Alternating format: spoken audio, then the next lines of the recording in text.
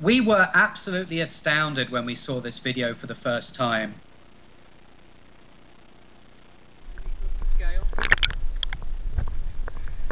We deployed these video cameras on several species of shark captured a couple of miles offshore from our base on Coconut Island.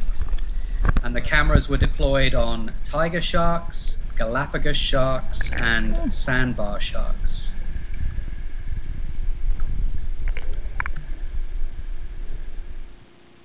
In the footage that we recovered from the Galapagos shark, we see the camera equipped shark casually gliding over the coral reef through these big schools of fishes and get a real shark's eye view of what it's like to swim with another shark over a coral reef.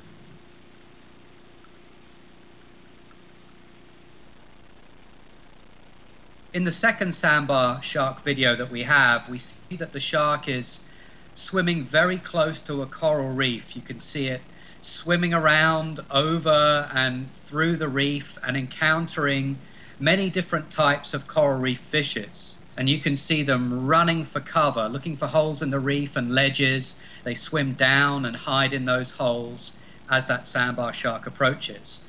The larger reef fishes that the shark encounters are more curious than anything. You see them circling around in front of the shark, but they don't really try to escape.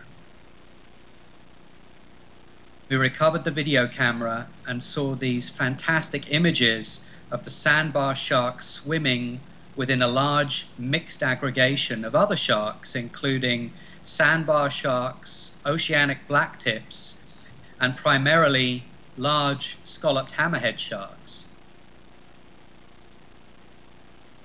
Here we're seeing the kinds of social interactions that sharks partake in as they go about their daily lives. And it's really given us a shark's eye view of the marine environment that they live in.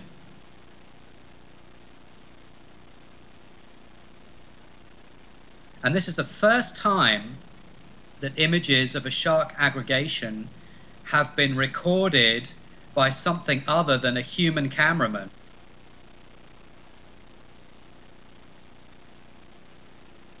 During the course of the day, the aggregation forms initially down on the seabed in relatively deep, between two and 300 feet, and then it gradually spirals upwards, and you catch glimpses of more and more sharks within the aggregation.